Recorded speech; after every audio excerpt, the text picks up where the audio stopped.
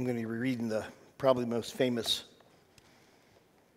scripture reading ever, Luke chapter 2, beginning at verse 8. And there were shepherds living out in the fields nearby, keeping watch over their flocks at night. An angel of the Lord appeared to them, and the glory of the Lord shone around them, and they were terrified. But the angel said to them, Do not be afraid. I bring you good news of great joy that will be for all people. Today, in the town of David, a Savior has been born to you. He is Christ the Lord. This will be a sign to you. You will find a baby wrapped in cloths and lying in a manger. Verse 13 Suddenly, a great company of heavenly hosts appeared with the angel, praising God and saying, Glory to God in the highest, and on earth peace to men on whom his favor rests. When the angels had left them and gone into heaven, the shepherds said to one another, Let's go to Bethlehem and see this thing that has happened, which the Lord has told us about. Verse 16 So they hurried off and found Mary and Joseph and the baby who was lying in the manger.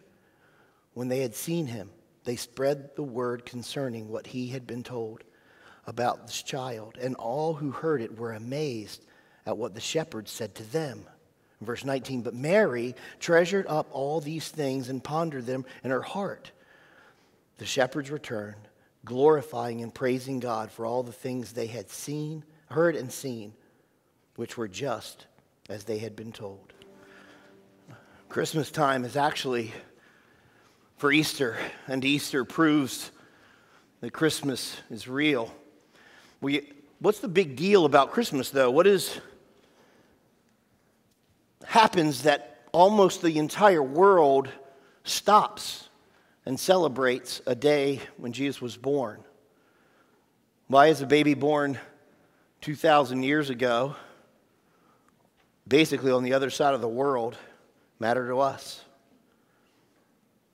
The answer is Christmas is the most amazing news we're ever going to hear.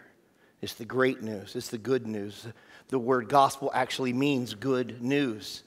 We're going to go back to the Christmas story this morning, Luke chapter 2. Like I said, it's probably the most known story in the whole Bible. There's postcards, greeting cards, little nativity scenes. But why? God never does anything without a reason. He has a plan for and a purpose for everything. Every rock has a purpose, every plant has a purpose, and every one of us has a purpose. God has a purpose for us being here this Advent time this morning for a reason. I want you to just to kind of pray to yourself, what is that reason? What is the purpose of me being here now? Why did God send Jesus? For unto you is born a Savior. It's for your benefit, it's for my benefit, it's for our benefit. So we're going to see a couple things. We're going to see what happened why did it happen? And how should we respond? And it's going to be a little bit different than I've done stuff in the past. It was a little more complicated, but I hope you can stick with me. What happened? Well, what happened was Jesus was born, and we looked at this last time. When she wrapped Jesus, him, in swaddling cloths and placed him in a manger. Why? Because there was no room for him in the inn. So there's a baby wrapped in, I guess, a usual baby outfit. but this time he's laid in a manger, a dirty feeding trough. But why? Well, Listen to what happened. The power of God could make a decree happen that probably the most powerful man in the known world at that time decided to take a census for tax purposes, and everybody had to go back to their hometown. So, how did God make a decree happen that would affect the world? Well, it was this it was to get Joseph and Mary from Nazareth to Bethlehem on a certain day at a certain time to fulfill a prophecy in Micah that was written 700 years before. He could do that. They had to travel 80 miles over four days. It was dangerous. And she was, I don't know if you could be really pregnant, but you know what I mean. Like, but why? This was my question. Could God have arranged for Jesus, the firstborn Son of God, to be born in the inn instead of a manger? Absolutely. So why didn't he? If he orchestrated with his power all those other things, he made it very complicated. Well, he has a purpose, he has a plan for his one and only son to be born and placed in a dirty feeding trough. Jesus starts his human life at the lowest, lowest point. And this is kind of amazing too. Instead of the King of Kings being born in a palace, or the Lord of Lords being born with the priestly families, here, Jesus travels, gets there, and is born in a manger. And listen to what happens. There were shepherds. Now, this is kind of amazing because shepherds are kind of the lowest of the low. I don't know if you were here a couple years ago when I was talking about the shepherds. I, I was trying to figure out what they would be like in our culture today, and they would be kind of like a busboy know if you've ever been in the restaurant business, but kind of the job that everybody yells at this person, it all is the busboy. He always does everything wrong. It's like the shepherds are living out in the fields. It's the message doesn't come to a prophet. It doesn't come to a king. It doesn't even come to wise and upright people. It doesn't come to the Pharisees. The news comes to a shepherd who are living outside. And the angel of the Lord appeared to them. And guess what happens? And the glory of the Lord shone all around them. And they were terrified. They're not supposed to be afraid because the angel said, Don't be afraid. But why not be afraid? Because obviously there's something to be afraid of. They've never seen something like this before. The angel said, Don't be afraid. Why? Because there's good news, and that good news will cause great joy because a Savior has been born. But how will the shepherds know who it is when they get to Bethlehem? Who's the baby? It's Christ, the Messiah, the Lord. But what's the sign? The sign is you'll find a baby wrapped in cloths and lying in a manger. And my guess is even the shepherds are like, What? Well, you're telling us it's time for the Messiah, and he's just been born, and it's not in Jerusalem? It's in a stable and placed in a feeding trough? But the sign is when you find a baby in a trough, it'll be the only baby in a trough, and that will be the Lord. So the shepherds have been told. There's Christ the Messiah, the Lord, the promised one. And the angel of the Lord and the glory of the Lord shone all around them. So they hurried off. And they found Mary and Joseph and the baby who was lying in the manger. When they had seen him, they spread the word. So, what we have is we have the glory of the Lord. We have the angel saying, Fear not. Why? Because there's true joy coming. There's a Savior, the Christ, the Messiah, of the Lord. And the sign is a dirty feeding trough. He's born low in a stable where the animals eat. Why? It says for peace. The Savior, the Lord, is placed low. And when you find the baby out back in a barn, placed in a feeding trough, it's Christ the Lord.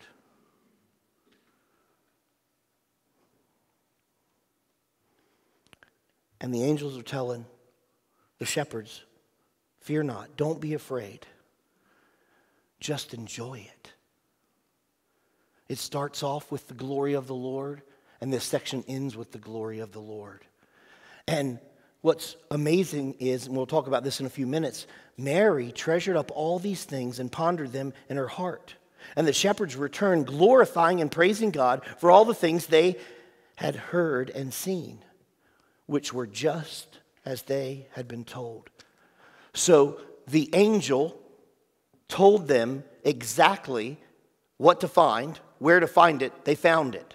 And so,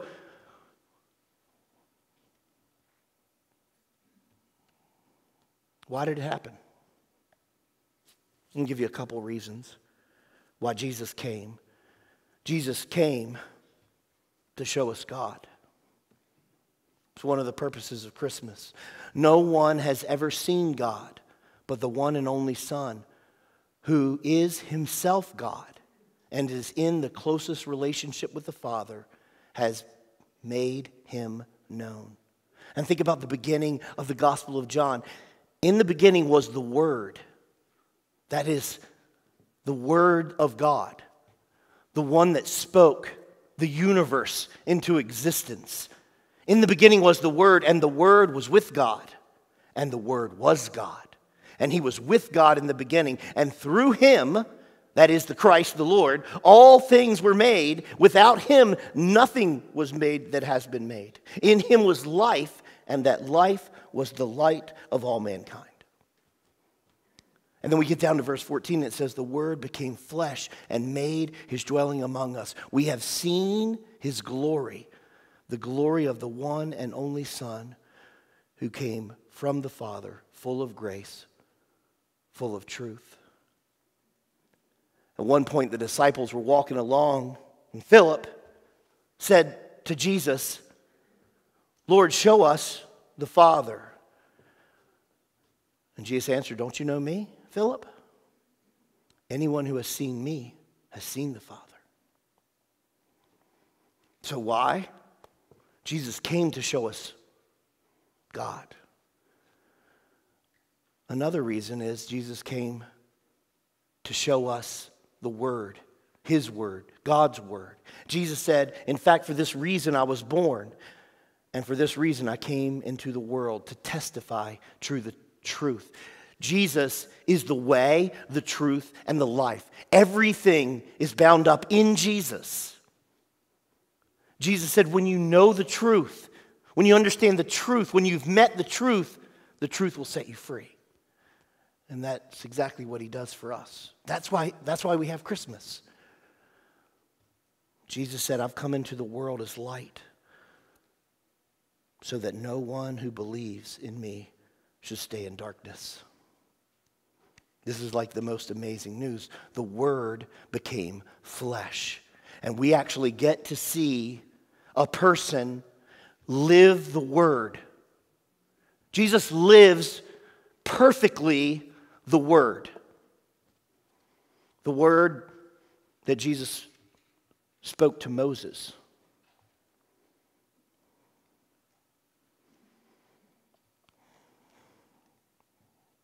Give you another reason. Why did it happen? Jesus came to save sinful people. Jesus said, For the Son of Man came to seek and to save what was lost. I did not come into the world to be served, but to serve and to give my life as a ransom for many. Jesus was giving his life as the ransom. I didn't come to judge the world, but to save it. What happened? God the Father sent God the Son. Why did it happen? We saw what happened. That's the Christmas story. We saw some reasons why it happened. but how how can we apply the story to us now? How can we take the story that we all could probably tell? And we could probably tell it in the order it is in Luke. How should we respond? I think this is awesome. I think we should respond like Mary. We should make peace and we should fear not. Let me give you a couple things. What Luke is telling us is about how easy it is to hear and not hear. To hear the words of God, but to really not hear them. How do we hear the message of God? We hear the message from God in the Word of God. And how do we respond? Now, Mary here is being held up as the model because she's going to do a couple things, and we've got to look at these lessons from Mary because they're easy to kind of miss. Don't miss is this a word? Ordinariness. Is that a word? Ordinariness? No? Somebody look it up. If I just made up a word, put it in. Don't miss the ordinariness of how the Word of God comes to most of us, most people, for all time. It comes to us in the form of the Word of God. A very ordinary way. We didn't get it in an ordinary way. It's actually, we got it in a amazing miracle way, but we can miss it. Notice what the shepherds got. What did the shepherds get? The shepherds get an angel. And you're like, you know what? If an angel told me, I'm in. That's what I need. I need an angel. Very few people got to get an angel to see him. What did everybody else in town get? The shepherds, right. They got the shepherds. The shepherds, the bus boys, they get the angel, the heavenly host. They go looking and they start spreading the word. And can you imagine all of a sudden a whole bunch of kids running around telling you what had just happened, the good news? Do we believe them? The shepherds get an angel. And the shepherds, the shepherds get an angel and everybody else gets a shepherd. When an angel appears, every time the brilliance, the glory, they just fall down. It's probably hard to do anything else. It's very easy for the shepherds to pay attention. Or no? Yeah. Yes, yes, yes, yes, yes. It's, I mean, they're probably laying down. They've got all their goats, sheep herded up. I don't even know if that's right. but they got them, you know, in. And they're laying out in the fields, and an angel shows up. And then a heavenly host shows up behind the announcement. My guess is they remembered every word the angel said.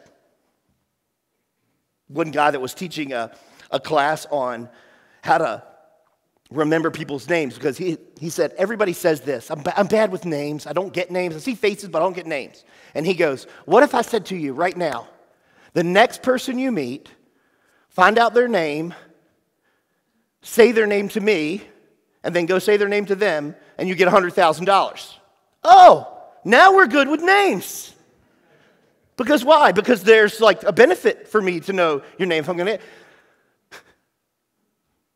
Can you imagine that here the angels are?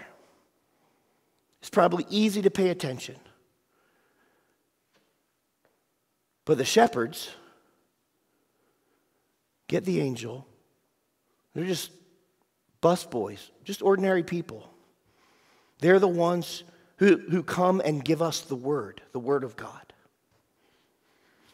What does this remind us of? It kind of reminds me of all the biblical authors over a 1600 year period of time that it's written on three different continents and it's all kind of different people. There's kings there's shepherds there's singers there's disciples. There's all kind of people that are involved in writing the word.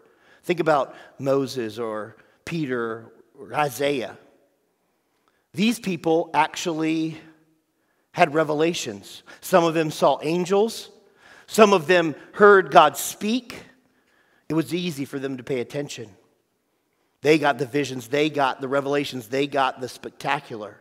But what about the rest of us? We get a book to read. I mean, it's more than just a book, but we find out it's not just a book. But reading sometimes is not easy. It's really easy to read and not pay attention. Has anybody ever done that? Can you read and all of a sudden you look back? Show of hands, okay? And obviously you're like, I don't know what I just read.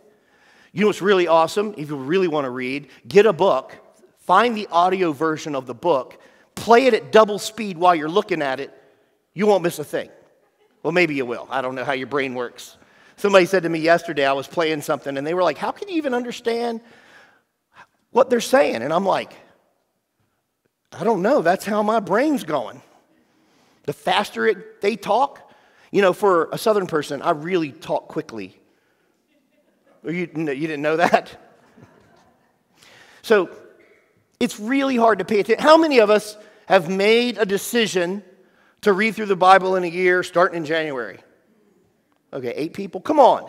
Everybody's done it at one time, right? Okay. And you started off strong, and then you got to Leviticus chapter 3. And you're like, what did I sign up for? I don't get this the purity of, eh, yeah, take the mold and wash it. like, it's like, why? It's hard to pay attention when it's like that. It's really hard. One pastor called it resolutions that die the death of Leviticus. and I was like, you know, that's hard. Um, maybe we should try to preach through Leviticus one time. Yeah, it's like, really?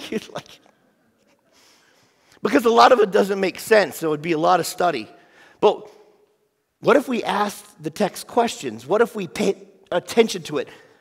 That's the point. Most of us, for all time, have gotten the Word of God in a very ordinary way. And it's very easily to either ignore it, to read it but not really read it, but Mary has heard from an angel.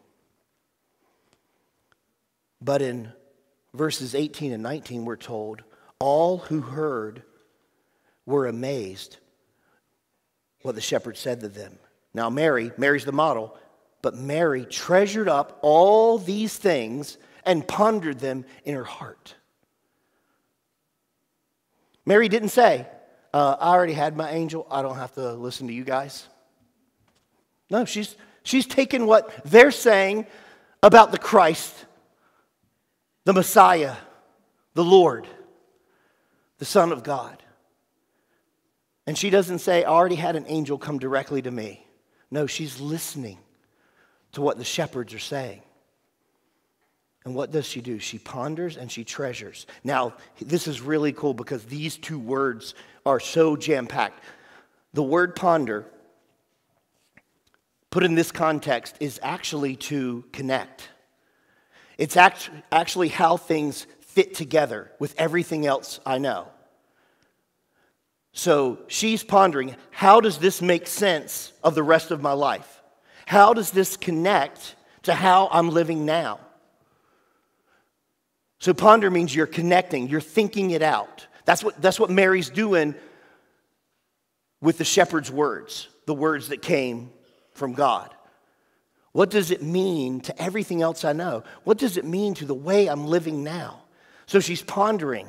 It's intense, it's actual mental discipline. You're, you're actually on purpose studying God's word and thinking, how does this apply to me?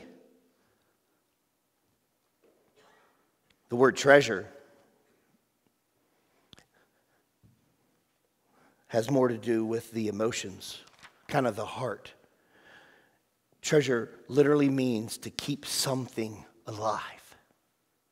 Mary is keeping something alive, it's feeding the fire or keeping a little kitten alive by nurturing it. It's a word that actually means to relish or to savor, to keep this thing going. Like, think about savoring something. That's what Mary's doing. We're told she doesn't just ponder the Word of God and the message of God, she fans the flame in her heart. Are we doing that? It's not a technique, it's an attitude that she has towards the Word. Don't underestimate your ability to hear and to not hear the Word of God. Because remember the parable of the sower. The seeds fall, and most of the time, they don't really grow.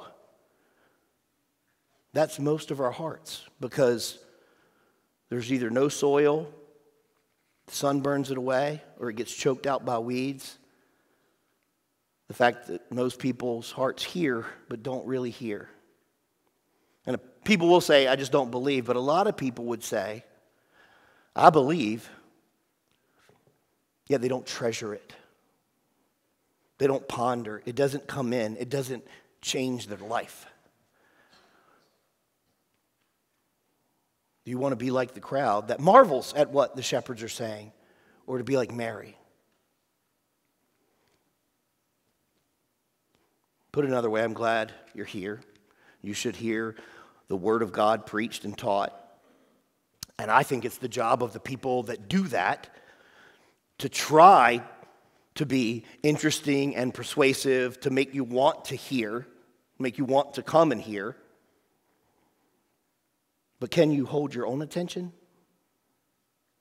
Can you interest yourself? Can you sit down and treasure and fan the flame of God's word, keeping it alive in your emotions? That's what Luke's saying. He's saying, ponder and treasure like Mary. That's what Luke is telling us. And the next thing we need to do, we need to ponder like Mary, but we need to make peace. The Christians, we're saved by grace. We should be the most loving, forgiving, gracious people ever. And a lot of the times, we're the most condemning, arrogant people ever. Which, if you're saved by grace, you should be thinking, what does Jesus say at the beginning of the Sermon on the Mount? People that live in my kingdom are peacemakers. That's us. We're supposed to be peacemakers. Grace and peace, they go together. In verse 10, it says, the good news, the good news for everyone. Christians should be fanning the flames, being peacemakers. We should be pondering, we should be thinking. We know how to admit when we're wrong. We ask for forgiveness. We know that we're reconciled to God. We should be putting ourselves in every part of society, and we should be the biggest forgivers. Forgivers. We should be the fastest repenters. Christmas means that on the basis of the grace of God, peace with God is available. And if we take the peace, then we can go out and make peace. The world, your family, the community, this state, this country, the entire world should be better because we're in it. It should be. We're quick forgivers. We're quick repenters. We, we want to make the peace. Is the world better off because you're here? So respond like Mary, make peace, and then listen and fear not. This, I love this old translation. Listen to this. And lo, the angel of the Lord came upon them, and the glory of the Lord shone round them, and they were sore afraid. Who writes like that? Sore afraid. It actually means they're terrified. It's actually, there's, there's two words. It's actually megaphobic. That's actually the word. Mega, which is the Greek for magnify, and phobia, which is for fear. So they were mega afraid, mega fearful. So in Old English, they were sore afraid. And, and the angel doesn't ignore that. The angel stops and goes, No, no, no, no, don't be afraid. This is nothing to be afraid of. This is, I'm coming and giving you the best news. And the shepherds have to be thinking, why do I get the news? They get it, but they get the news. I know. The angel comes and says, Don't be afraid. I kind of like is the angel says, I know you live a life of terror, but you don't have to be afraid anymore. If you look at what I'm showing you, if you go and see what I've done for you, if you go and see who I've sent. Why are we trying to be our own masters? Because I think we know when we are in control of stuff, we mess stuff up. And that's what makes us afraid. If we're trying to be our own master, I know I'm in control, but I know me. And we have lots of fears fear of failure, fear of the future, fear of death. But when God comes near us, we're terrified. Because, like the Apostle Paul on the road to Damascus, just falls down. We're filled with fear because we know how ugly we are inside and how much we need this grace. And the angel says, I got a solution. Fear not, for behold, which means to the degree, to the degree, fears will undermine. But a Savior is born who is the Christ. Christmas starts and it's for Easter. And Easter proves that Christmas is real. Christ, the Messiah, the Lord, started life off as low as it could be. His first day of existence as a human is actually placed where goats eat.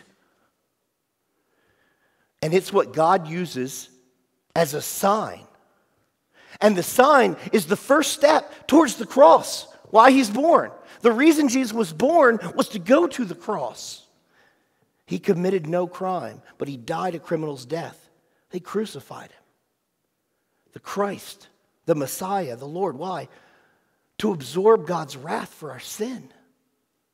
In Romans 5, it says, For if we, while we were God's enemies, we were reconciled to him through the death of his son, how much more, having been reconciled, shall we be saved through his life? Jesus, the Christ, the Messiah, the Lord, lived and died in our place. Why? To take away our condemnation. Why? To reconcile us to God. Why? To show us his love. Jesus paid the ultimate, the highest price to give us the greatest gift. And what is that gift? Eternal life. He's showing us his grace. And after the death on the cross, they placed Jesus in a tomb. But three days later, he arose, proving that his birth was real, and he lives today. Jesus, the Christ, the Messiah, the Lord. Christmas is for Easter, and Easter proves that Christmas is real. Do you believe? Let's pray. Oh, Lord, help us to take your word like Mary did, to ponder it, to treasure it, to keep the flame going, to let it be in us and go through us and help us to live out the things that it tells us. Father, if there's someone here that realizes, no, that, that's not me. I've been coming to church for a long time, but I'm not fanning any flame. But I want to. Lord, forgive me. You can pray that right now. Lord, forgive me. I, want what you want for me. I want to treasure. I want to ponder. And Father, if there's someone here that they're just realizing that this amazing good news, that peace, and they realize they need that peace. I need that. I want that peace that Jesus gives.